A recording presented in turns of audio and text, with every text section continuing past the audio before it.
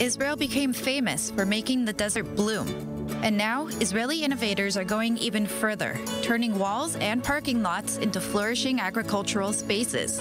In the last decade, agriculture going through a tremendous changes.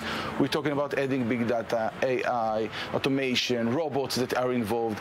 And the vertical farming is, in my eyes, definitely part of the leading engine in under agriculture. The global population is growing, but with it, space and resources are diminishing, raising a question of how we will feed the generations of the future.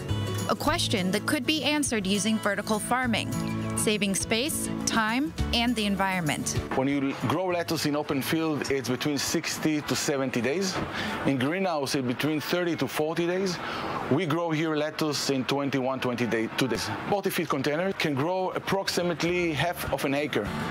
While the system is advanced, it is quite simple for the average person to operate.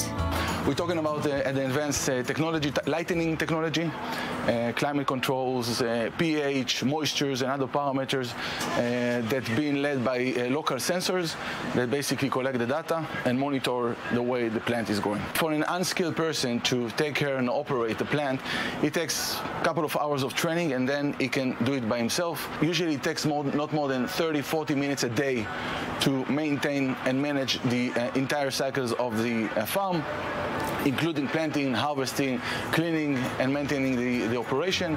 In Israel, the system is beginning to be adopted by select Rami Levy grocery store branches, as well as restaurants, and has begun providing services in New York as well. Naturally, we are link innovation to uh, expensive product. At the end of the day, lettuce, herbs, uh, leafy greens are being sold here on the shelf of Rami Levy in the same price or even lower. The herbs are wonderful. They are good and delicious delicious, much cleaner. You can see that it is fresh. We're in 2020 now. It's not strange. It's great to see that we are developing and want to show customers how the plant grows and it's in front of their eyes. I think it's a lovely idea and an inspired project. Such growing systems can also play an important role in food security during the time of a pandemic, reducing food waste and increasing availability. Consumer now is more hesitate of what he brings to his mouth, right? What he, what he eats, and how many uh, hands touch the food that he consumes. And uh, people were hesitating to come to work. Farmers didn't come to work, so uh, the, the, the, the, farmers need to destroy part of the produce. They cannot ship it. On top of that, there was no, no plant, no transportation, so there were more difficulties of transporting produce from one side to the, to the other. The units produced by Vertical Field are also being implemented in retirement homes, providing providing a positive stimulus for residents with dementia and Alzheimer's, and also in schools. The people are involving in growing. They're learning about technology. They're learning about agriculture.